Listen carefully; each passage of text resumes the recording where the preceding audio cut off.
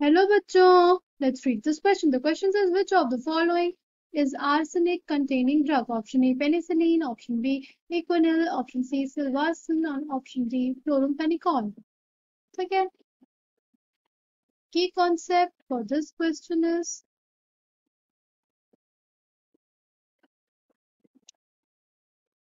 drug. What are drugs? Chemicals which are used to diagnose, prevent and treat diseases. उन chemicals को ही basically हम लोग drugs बोलते हैं। ठीक है? हमें बीमारी से बचाने के लिए उसको पता करने के लिए और उसको ट्रीट करने के लिए ड्रग्स यूज़ होते हैं। जब एक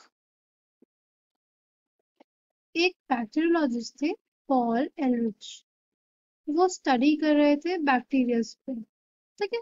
बट उन्होंने ये ऑब्ज़र्व किया कि जो हमारे पास आर्सेनिक के कंपाउंड्स थे, वो टॉक्सिक थे। तो उन्होंने ये स्टडी वो कोई ऐसा आर्सेनिक का कंपाउंड बनाएँगे या मेडिसिन बनाएँगे, उससे जो काफ़ी इफ़ेक्टिव होगी, ठीक है? तो उसके बाद उन्होंने काफ़ी सारे एक्सपेरिमेंट्स किए और उसके बाद उन्होंने डिस्कवरी की थी आर्स फेना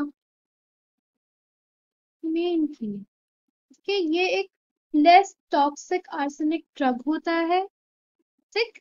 और इसको यूज़ किया जाता है for treatment of use for treatment of syphilis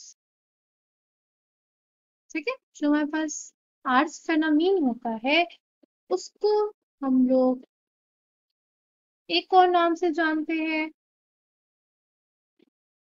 ठीक है? उसको हम लोग एक और नाम से जानते हैं, वो होता है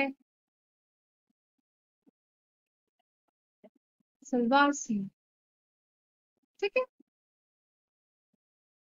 ये हमारे पास आर्स फेनामीन का स्ट्रक्चर था बेसिकली सलवार सिंह का structure Salvarsan basically kya hua? Salvarsan is an antibiotic. Salvarsan was basically used for treatment of syphilis. Coming back to the question, the question says which of the following is arsenic containing drug? The correct answer for this question will be option C, Salvarsan. I hope you understood well. Thank you and all the best.